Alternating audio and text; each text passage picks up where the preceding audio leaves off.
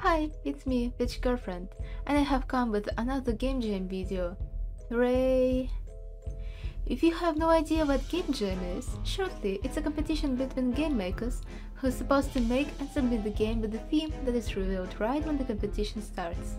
And these competitions usually end very quickly, day after the theme is revealed, two days or three days.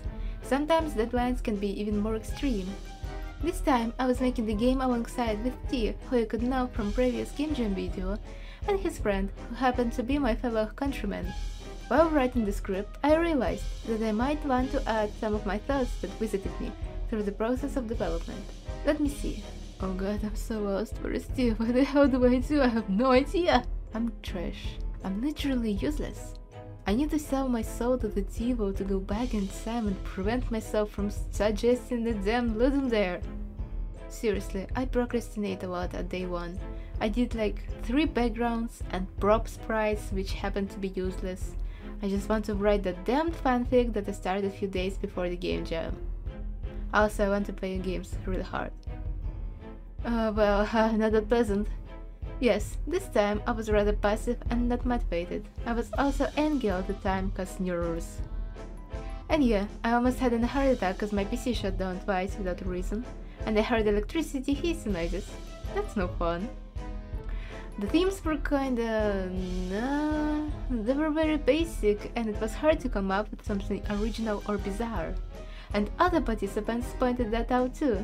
Eventually, the voting decided that the theme will be Harvest. Do you smell it? Stardew Valley and other farm games vibe. But we avoided that vibe and went for something more dark and gory. And thus, our body story starts. We wanted to make something grim because, like Nikita said, the word harvest has something terrifying behind it. So, my little baby baby child kid was born, John the Ripper. Their task is to harvest everything that God pleases, cloud to be more specific. If they fail collecting everything and keeping cult members alive, the god destroys the world and kills John. If they manage to, the god will be pacified and will leave him be. I was doing the same thing that I was doing previously. I was doing all dimensions art. Nikita, his friend, was also doing 3D and music with sound effects.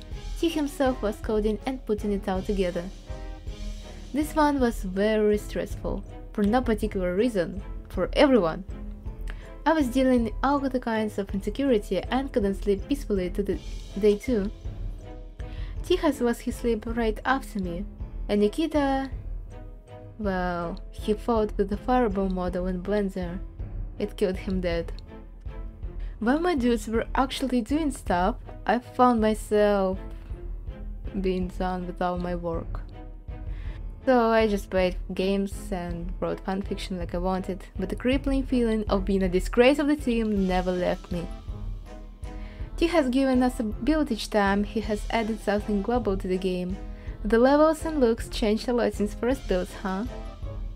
We didn't rush that much, so we submitted the game at the last day and went to sleep peacefully. And then, the voting hell started. Pretty much everyone was okay with our game, some found it nicely polished and stylish, some had difficulties with the bullet hell component of the game, some didn't like how mouse is sensitive. Well, no one is perfect. During the voting time, we've seen scary, pretty, and... Uh, so in the end we got in the first 10%.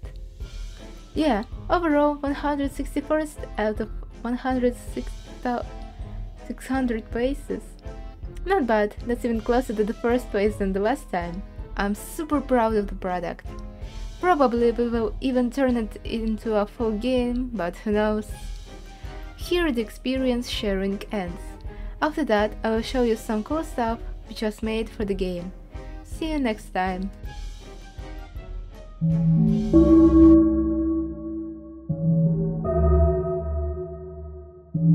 Ha ha ha.